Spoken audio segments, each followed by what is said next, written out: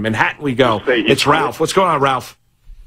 Marky, to, to, to hear the father say that he's quit is absolutely heartbreaking. You use the right word, Kim. When I hear that, I hear of a, a father throwing up his hands because all you have is just, if you can't go to your dad and say, hey, I'm in trouble, please help me. I know that's happened a hundred times probably, but there has to be something that that man can do to to get his son and turn him around some way somehow. If if, if the parent quits, um, I can't. I can understand why everybody else should quit, but the parents uh, have to stick with this kid. Uh, I don't want to see this kid turn up in the obituaries. I want to see this kid come through miraculously. I think it could happen if he gets the right help, but who knows?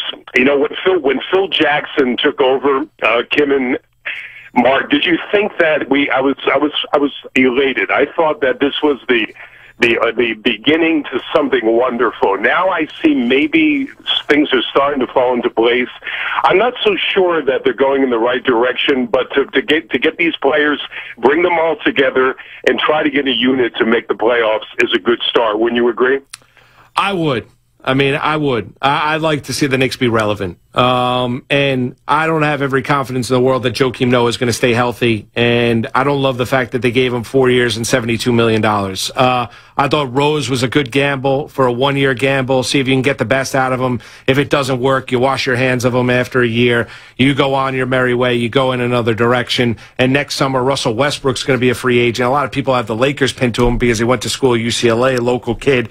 But he's the one this past year that said, you know, he would be open to the idea of playing with Porzingis one day. So that's an opportunity potentially next summer down the line. I'd like to see the Knicks play quality basketball and have a team that's that's that's good to watch. I'm not going to go out there and talk about them being a championship caliber team. I'd like them to be relevant in the NBA and be a playoff team and, and not counting down the days to the end of the regular season to where we get to the offseason and how quickly we can get to July 1st. That's where I'd like to see this team be back in the playoffs and, and playing meaningful basketball games. It would be fun to see. Yeah, and you know this this city comes alive, Mark, when the basketball is good. I mean, they call it a baseball town, but basketball is pretty much the centerpiece of the town in a lot of different ways.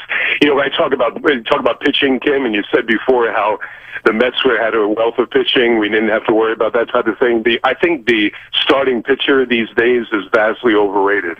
I think if you're getting five innings out of these guys, you're lucky. That's a quality start. No, that terrible not. term. I, well, I know it's not, Kim. That's what they use, and I can't No, stand it's it not. either. They use six.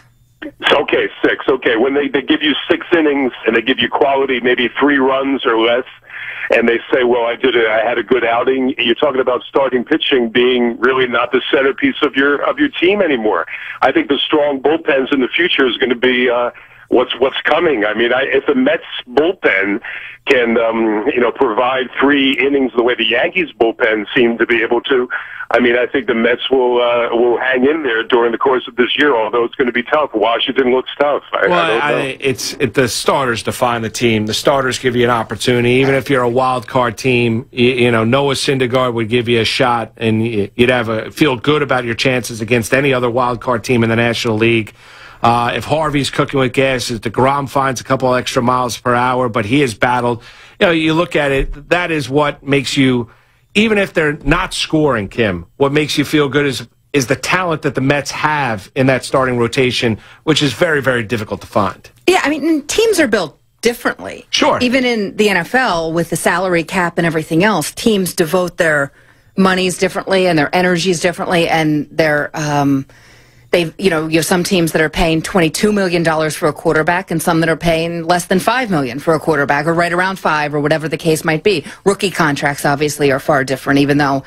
Interestingly, some of these rookies this season we may not see play quarterback very much. We'll see if Jared Goff ends up with the Rams, but it sounds like Carson Wentz may not even see the field for the Year one. Philadelphia Eagles year one, and they certainly are investing heavily at quarterback in both backup Chase Daniel and presumed starter Sam Bradford. To go back to one thing Ralph said about the Knicks, I guess what would surprise me most under Phil Jackson is how often the Knicks have appeared rudderless they so often feel like a team that's lost a grasp of what's going on or the ability to fix it.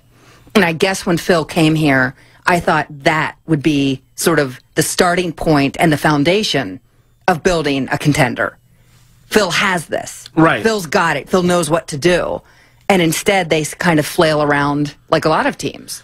Yeah, and that is you're right. That's fair. That's been. I, I feel like now they have a a more defined sense of direction than they have in years gone by. But you're Like right. right now. Right now. Maybe. Yeah. right now. be. But up until this point. Right now. Right now.